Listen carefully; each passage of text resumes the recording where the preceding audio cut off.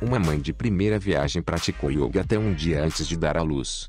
Randy Grene, de 30 anos, de Ohio, se negou a enrolar o seu colchonete quando ficou grávida, e inspirou o mundo com fotos em posições bem difíceis, e com uma linda barriga. Randy, que se apaixonou por yoga há três anos, acredita que sua prática ajudou durante as contrações do parto e também contribuiu para criar uma conexão profunda entre mente e corpo.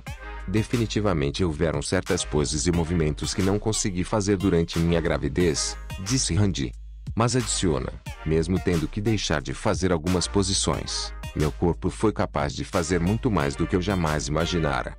Randy e seu marido Davi Grene, de 33 anos, deram as boas-vindas a seu filho Ken em 16 de janeiro.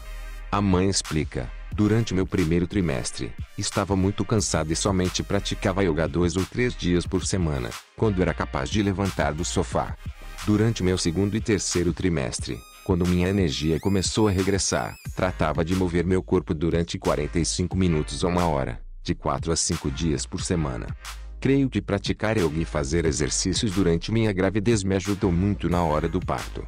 Não somente ajudou com a minha respiração durante as contrações, mas como também me proporcionou um certo nível de confiança que me permitiu sintonizar meu corpo durante o parto.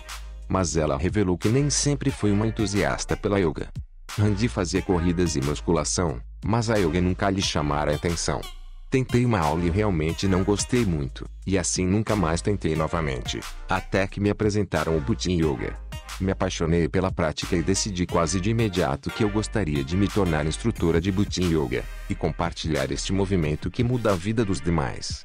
Me encanta porque se trata de um treinamento completo por si só, e é um movimento para dar poder às mulheres e as ajudar a ganhar confiança, e sentir-se confortável em sua própria pele.